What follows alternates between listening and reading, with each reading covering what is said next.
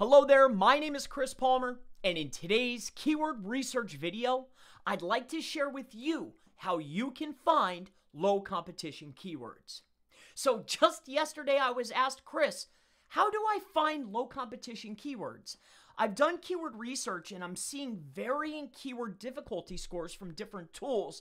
How do I really pick the best one? Be, and, and this made a lot of sense to me because if you're doing keyword research, you're putting in all that time, all that energy, potentially you're going to write it yourself or pay somebody to write it.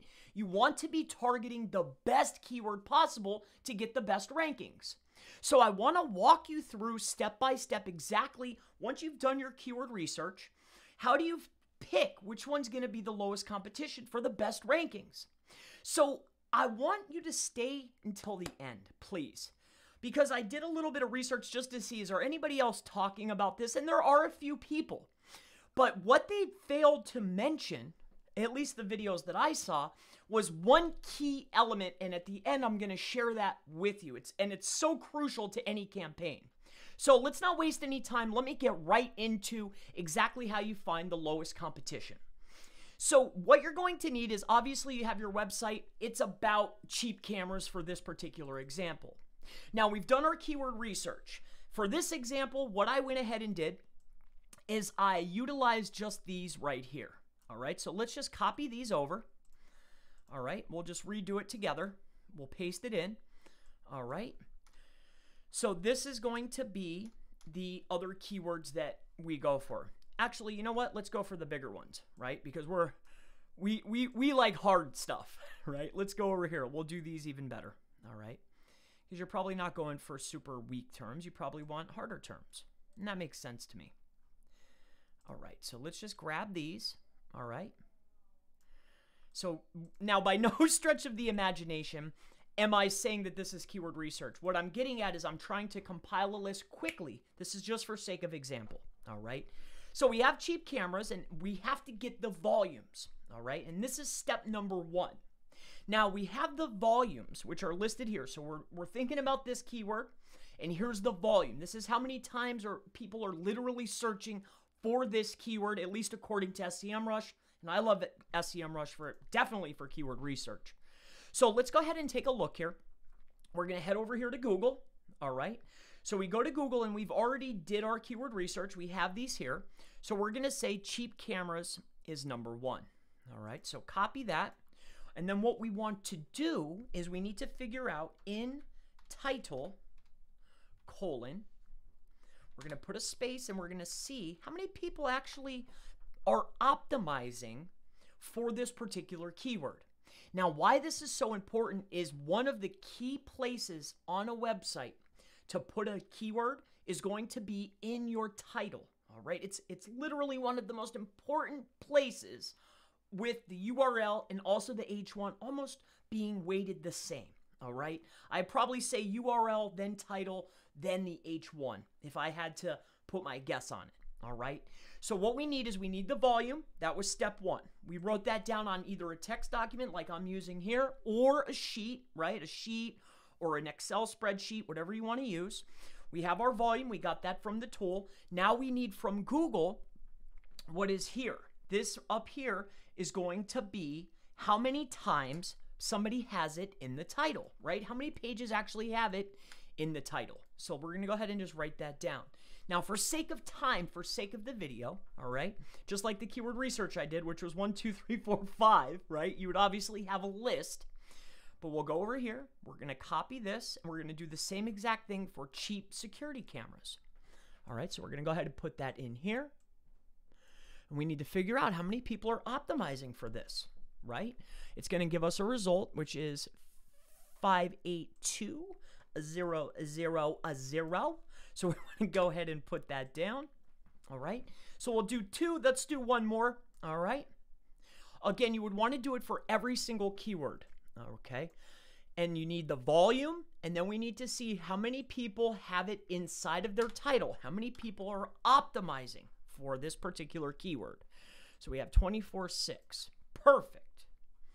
So what we're going to do is we're going to go ahead and put this here. Now, the next step in this particular strategy or technique, however you want to look at it, is you're going to need your calculator unless you're a math whiz. I, of course, am not. I will be needing the aid of a calculator. So, what you're going to do is you're going to take the amount of people who have it in the title. So, that's going to be 1,550,000. Okay, 1,550,000 people have this in their title. They're optimized for it, all right, at least in the title.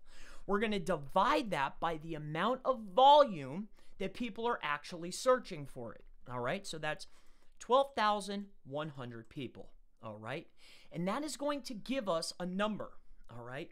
It's going to be 128 is all we need is this first number. So then we're going to come over here and we're going to write that down. Paste. Now we're going to do it for the very next keyword that we're thinking about targeting. All right. So that's going to be 582,000. Okay. We're going to divide that by the volume. So we're taking optimized titles, dividing it by the actual volume for the keyword. So divided by 6,600. Okay. And that'll give us a number, which is 88. All right. Now we're going to do one more just for the sake of the video for time. All right. Paste. And then we have this one here. This is our last number. All right. So we're going to take 24,000 people, 600, have it inside of their title. They're optimized for it. We're dividing that by our search volume, which is 6600 equals. Now, again, stick with me because I've seen, I, I've, you know, this isn't a new technique, but I am sharing it with you. But there's a key element that a lot of people left out. I, I watched two videos and they weren't talking about the next step that I'm going to show you. And this is crucial. I mean, for any campaign, what I'm going to sh share with you is definitely crucial. It should be done for almost everything. So what this is, is now we have a 3.7. So, all right, so that's a 3. Now, I, I feel like I maybe missed something there. Let me just do something. 24, 600 right? And we're going to divide that by 6,600. No, it's a 3. All right. So it's actually a 7, so that would be a 4. But nonetheless, now, the number that we have, all right, the number that we've came to, this is the keyword ratio, okay?